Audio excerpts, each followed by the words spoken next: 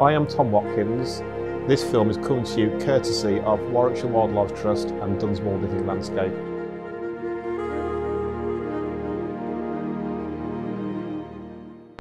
Traditional hedge laying in the British countryside has been a prominent feature of the landscape for at least a few hundred years. Regionally, there are many styles of hedge laying, but all styles generally follow the same principles. In this film, the style we are going to be watching is one of the most popular and it's called the Midland Bullock style. England is a country of mixed farms, and where cattle and corn grow side by side, you need hedges to keep stock from straying from one field to another and to give them shade in summer and a windbreak in winter. Firstly, let's look at some of the equipment. Many tools I use, but today we're going to concentrate on six, and these are a mattock,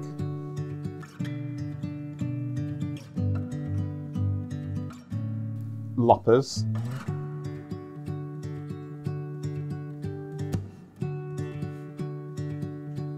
a pruning saw,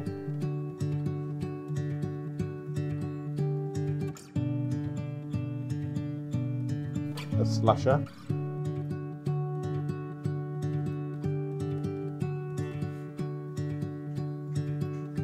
a Yorkshire bill hook,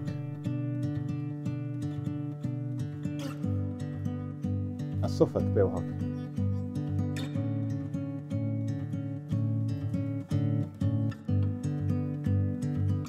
and Staffordshire bill hook.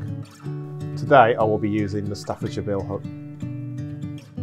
When attending a potential hedge laying site, the first task will always be siding up.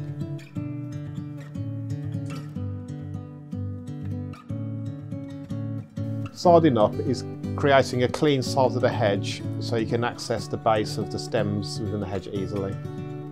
This involves removing side branches and anything that's going to get in your way during the hedge laying process. Generally, if you find any features from any past hedge laying, it is best to remove them.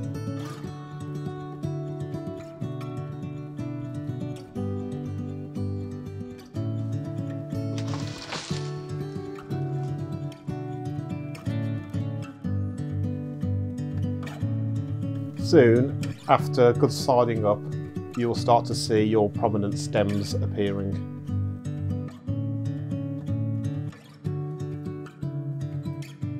These will form the framework of your hedge.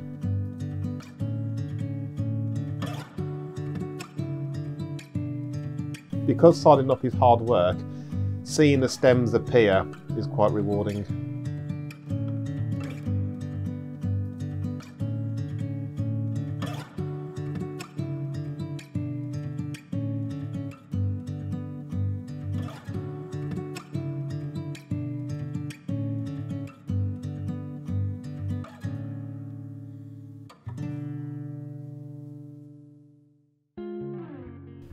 Here are three examples of good stems for laying in this hedge.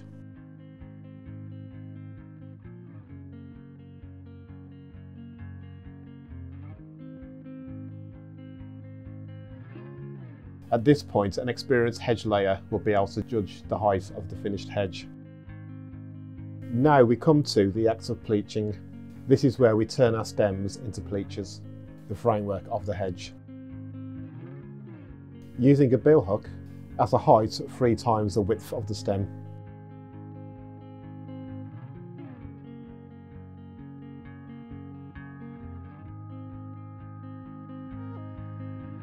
This earlier pleacher is showing the open stem cut at the desired angle to allow rainwater to run off the pleacher. This stops water from collecting at the base of the pleacher, which can cause the pleacher to rot over time.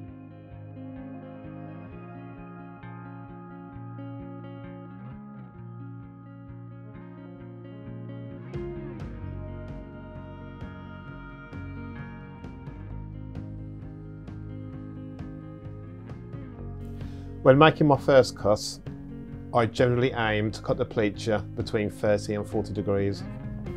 You cut the pleacher so there's enough sapwood left to keep the pleacher alive. This may only be a small sliver.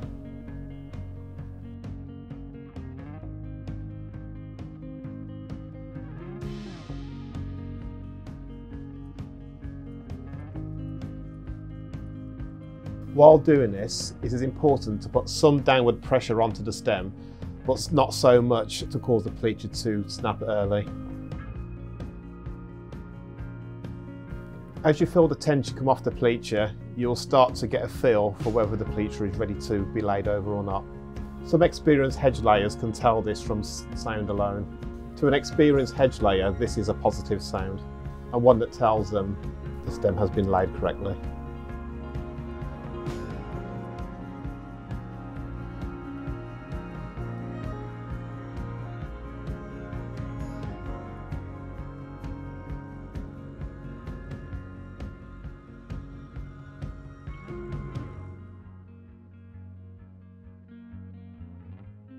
Once your pleacher has been laid, you will be left with a vertical stump. Using a bow saw or a pruning saw, this stump should be removed, leaving an angle similar to the surface cut on the pleacher.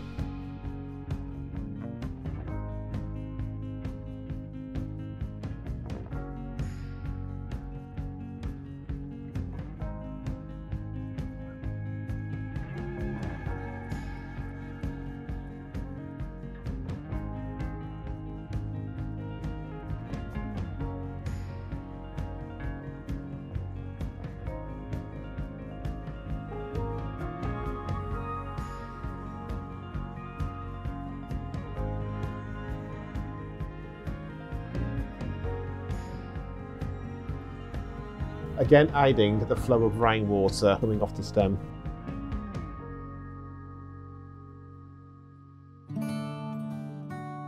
Your first attempts at pleaching may not produce the desired results.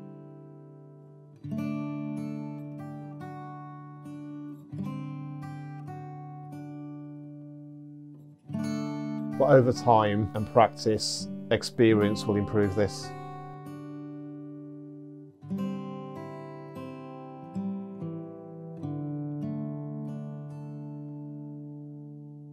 It is important to note that before you start any pleaching, the stem you're working on must be free from entanglement with the next stem.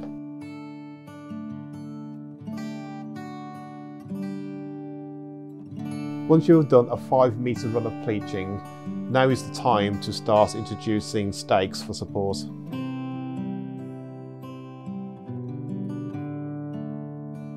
Traditionally, coppiced hazel stakes were used, but you can also use sawn timber stakes.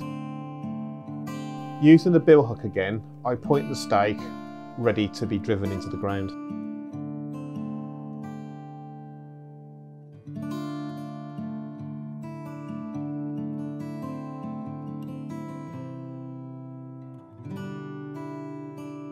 We really want our stakes to be equidistant. A good measure of this is the distance between your elbow and your fingertips.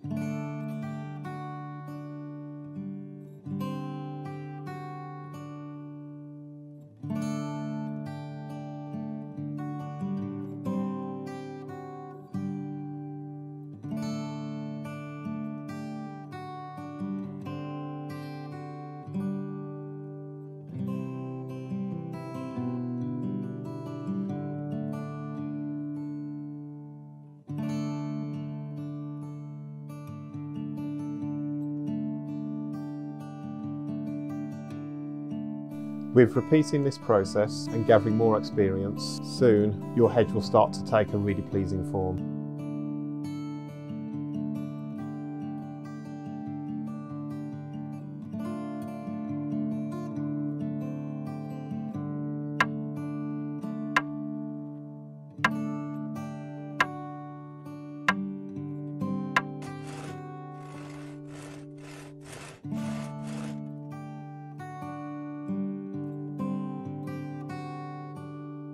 In the Midland Bullock style, traditionally the stems will be laid behind the supporting stakes, but with some stems, their fall may dictate exactly where they fall. Don't worry about this, it is part of the hedge laying process.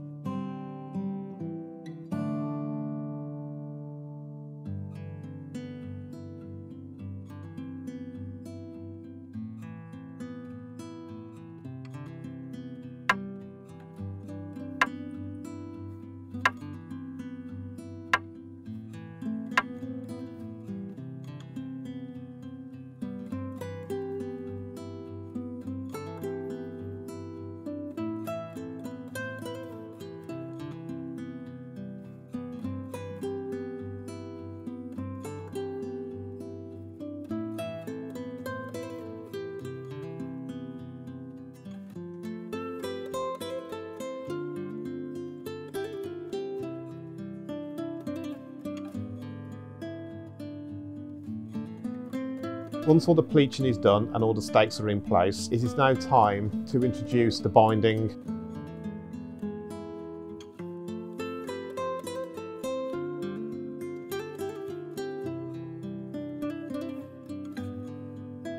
Traditionally, this will also be coppiced hazel, but willow can also be used.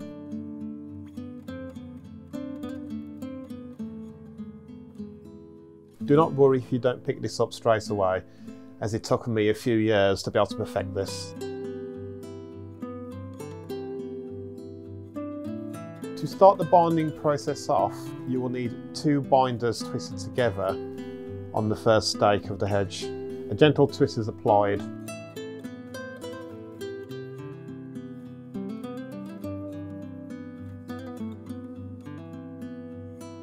The butt ends of these first two binders are placed in front of the first stake, behind the second stake, then in front of the third stake.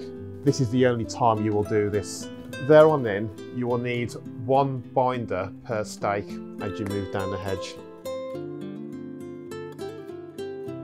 The butt end of your third binder will go behind the first stake, underneath the two you have just placed.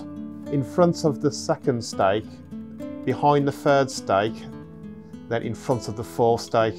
Every binder from then in should finish at the front of the hedge.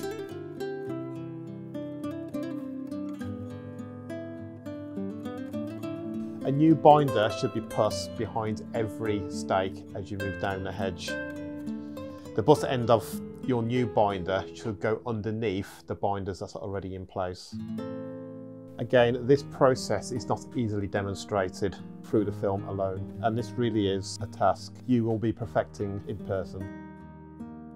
It is better to place your binding too high than it is too low because this will be easy to correct. It has to be said that these are all areas of real finesse.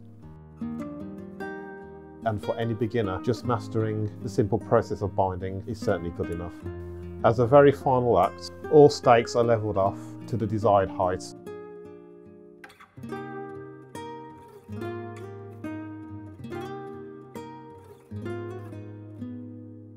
When cutting these stakes, we try and create an angle of about 35 to 45 degrees.